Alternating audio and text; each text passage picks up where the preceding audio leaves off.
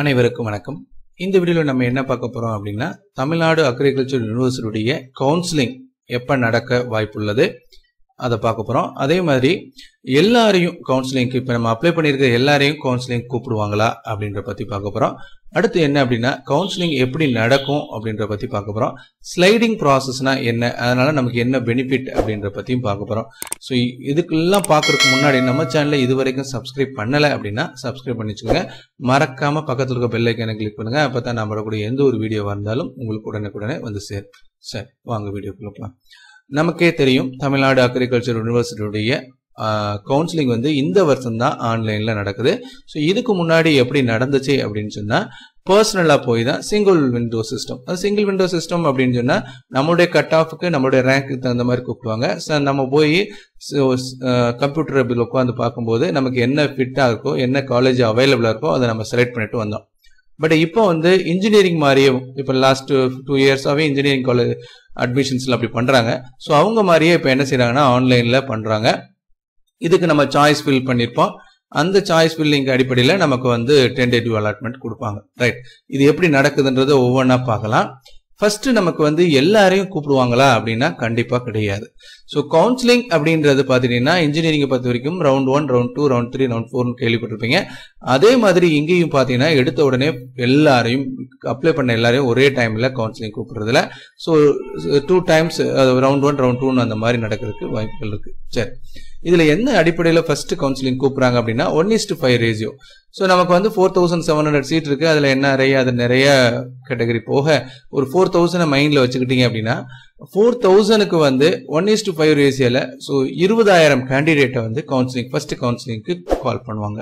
So இந்த இருபதாயிரம் பேருமே ஃபர்ஸ்ட் எடுத்தோன்னே இந்த முப்பத்தி ஓராயிரம் பேருமே இப்போ வந்து சென்ட்ரல் கேட்டகரி பார்த்தீங்கன்னா ஒரு அரௌண்ட் தேர்ட்டி தௌசண்ட் வந்து ரேங்க் லிஸ்ட்ல வந்திருக்கு. ஸோ அவங்கள ஃபர்ஸ்ட் எடுத்தோடனே பே பண்ண சொல்ல மாட்டாங்க. இந்த டுவெண்ட்டி தௌசண்ட் கேண்டிடேட் சொல்கிறாங்கல்ல இந்த டுவெண்ட்டி தௌசண்ட் கேண்டிடேட் மட்டும் ஃபர்ஸ்ட் வந்து கவுன்சிலிங் ஃபீ பே பண்ண சொல்லுவாங்க. எவ்வளோ ருபீஸ் அப்படின்னு சொன்னால் டூ தௌசண்ட் ருபீஸ் வந்து எம்பிசி அவங்களுக்கெல்லாம் பிசி எம்பிசிக்கெல்லாம் ஸோ தௌசண்ட் ருபீஸ் வந்து எஸ்சி எஸ்சிஏ அண்ட் எஸ்டி அவங்களுக்கு வந்து தௌசண்ட் ருபீஸ் இது வந்து என்ன அப்படின்னா நான் ரீஃபண்டபுள் இப்போ இன்ஜினியரிங்கை பொறுத்த வரைக்கும் நீங்கள் ஃபைவ் தௌசண்ட் ருபீஸ் பே பண்ணுறீங்க நீங்கள் கா கவுன்சிலிங் உங்களுக்கு வந்து கரெக்டான காலேஜ் கிடைக்கல எனக்கு பிடிக்கல அப்படின்னு சொல்லி வெளியேறினீங்கன்னா அந்த ஃபைவ் தௌசண்ட் ருபீஸை ரீஃபண்ட் வாங்கிக்கலாம். பட் இங்கே ரெண்டாயிரம் ரூபா ஒன்ஸ் பே பண்ணிட்டீங்கன்னா அது அவ்வளோதான் திருப்பி தர மாட்டாங்க. ரைட் நீங்கள் இப்போ வந்து உங்களுக்கு இருபதாயிரம் கேண்டிடேட்டில் உங்களுக்கு கால் பண்ணியிருக்காங்க நீங்கள் ரீஃபண்ட் டெபாசிட் ஒரு டூ தௌசண்ட் ருபீஸ் வந்து கவுன்சிலிங் ஃபீ பே பண்ணிட்டீங்க. அதுக்கப்புறம் என்ன செய்வாங்க அப்படின்னா உங்களுக்குன்னு ஒரு டேட் அலாட் பண்ணுவாங்க. அந்த டேட்டில் போயிட்டு நீங்கள் என்ன செய்யலாம் அப்படின்னா உங்களுடைய சாய்ஸை நீங்கள் ஆல்ரெடி ஒரு ஃபார்ட்டி சாய்ஸ் இப்போ physics chemistry maths and biology படித்தவங்க ஒரு ஃபார்ட்டி சாய்ஸ் அரௌண்ட் வந்திருக்கும். அதே மாதிரி கம்ப்யூட்டர் சயின்ஸ் ஃபிசிக்ஸ் கெமிஸ்ட்ரி படித்தவங்களுக்கு ஒரு குறிப்பிட்ட சாய்ஸ் இருக்கும். ஃபிசிக்ஸ் கெமிஸ்ட்ரி பாட்னி ஜுவாலஜி ஒரு குறிப்பிட்ட அளவு நீங்கள் சாய்ஸ் ஃபில் பண்ணியிருப்பீங்க ஆல்ரெடி அந்த சாய்ஸ் வேணுமா? அல்லது சாய்ஸ்ல ப்ரிஃபரன்ஸை மாத்தலாமா? அப்படின்றது உங்களுடைய விருப்பம். அதில் நிறைய பேர் கேட்டிருந்தாங்க அதை மாத்தலாமா சார் கண்டிப்பா மாத்தலாம். கவுன்சிலிங் அப்பதான் அது மாற்ற முடியும். அதுவும் ஒரே ஒரு டைம் தான் மாற்ற முடியும்.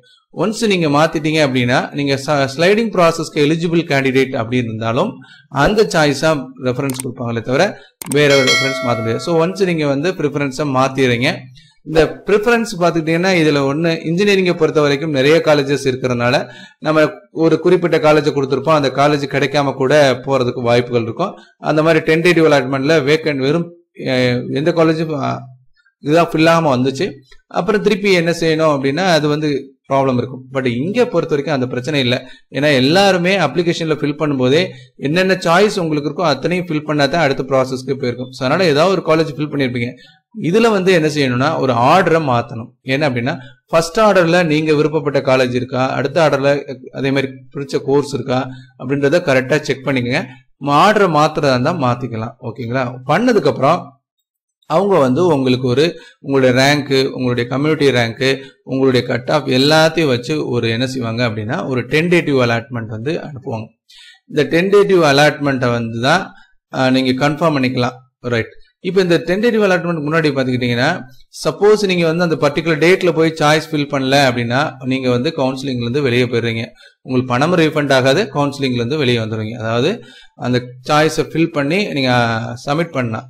இல்லை அப்படின்னா பண்ண முடியாது. அடுத்த இதுக்கு வந்து அடுத்த கவுன்சிலிங்க்கும் நீங்கள் எலிஜிபிள் கிடையாதுன்னு சொல்லியிருக்காங்க.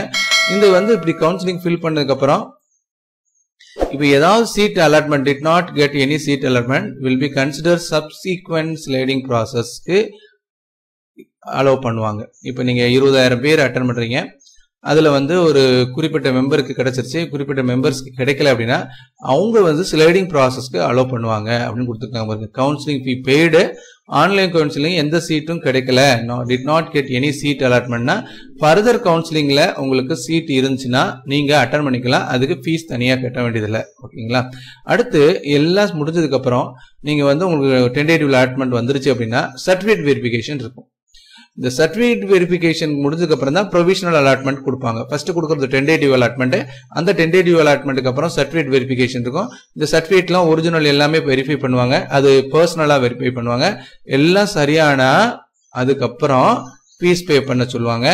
எவ்வளோ வரும்னா twenty thousand rupees once twenty thousand rupees pay பண்ணோடனே உங்களுக்கு வந்து ப்ரொவிஷனல் அலாட்மெண்ட் கொடுத்துருவோம் அந்த payment admission the allotment letter can be downloaded நீங்கள் வந்து அந்தந்த காலேஜில் போய் சேர்ந்துக்கலாம். ஓகேங்களா அந்த இருபதாயிரத்தை வந்து உங்களுடைய காலேஜ் அட்மிஷன் ஃபீஸில் அட்ஜஸ்ட் பண்ணிக்கிறோங்க நீங்கள் எவ்வளோ கட்டணுமோ அதுலேருந்து இந்த இருபதாயிரம் கழிச்சுக்கிறோம் ஆனால் இந்த இதை வாங்கினதுக்கப்புறம் இந்த அலாட்மெண்ட் வாங்கினதுக்கப்புறம் நீங்கள் எனக்கு எம்பிபிஎஸ் கிடச்சிருச்சு இல்லை அந்த கோர்ஸ் எனக்கு பிடிக்கல அந்த காலேஜ் போக மாட்டேன் அப்படின்னு சொன்னீங்கன்னா இந்த அமௌண்ட் ரீஃபண்ட் ஆகாது. அதோட அந்த இருபதாயிரத்தை மறந்துட வேண்டியதான் ஸோ அதான் கொடுத்துருங்க நான் ரீஃபண்டபிள் அதை ஒன்று வச்சுக்கோங்க.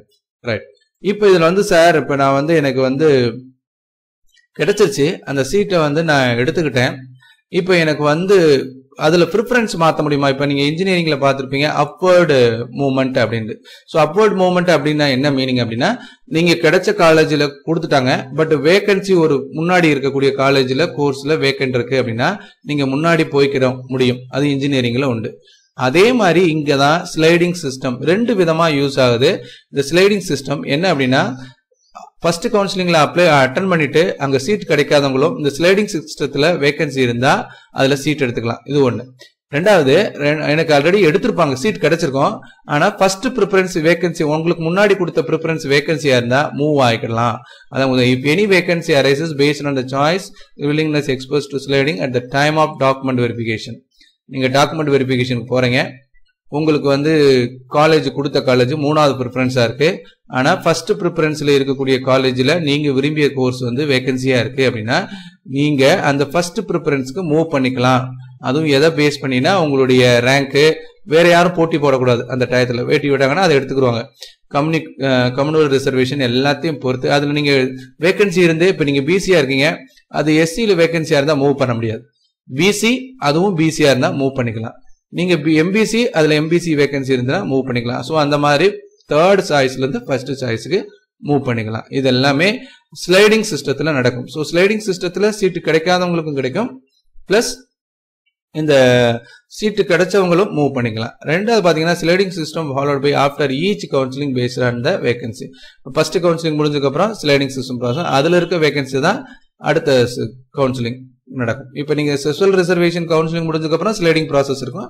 சென்ட்ரல் கவுன்சிலிங் நடந்ததுக்கப்புறம் ஸ்லைடிங் ப்ராசஸ் இருக்கு ஓகே இப்போ இந்த கவுன்சிலிங் எப்போ நடக்கிறதுக்கு வாய்ப்புகள் இருக்கு அப்படின்றத நம்ம தெளிவாக பார்த்துருவோம் நம்மளுடைய இது பார்த்துட்டீங்க அப்படின்னா இந்த ஸ்பெஷல் ரிசர்வேஷனுக்காக ரேங்க் வந்து டுவெண்ட்டி எயித் வந்து அனௌன்ஸ் பண்ணுறாங்க ஸோ டுவெண்ட்டி எயித் அனௌன்ஸ் பண்ணுறதுனால கண்டிப்பாக வந்து நவம்பர் ஃபர்ஸ்ட் வீக்கில் தான் கவுன்சிலிங் நடக்கிறதுக்கு வாய்ப்புகள் இருக்குது அதனால் நம்ம வந்து டுவெண்ட்டி எயித் அன்னைக்கே நம்ம கவுன்சிலிங்கான டேட்டை நம்ம எதிர்பார்க்கலாம்.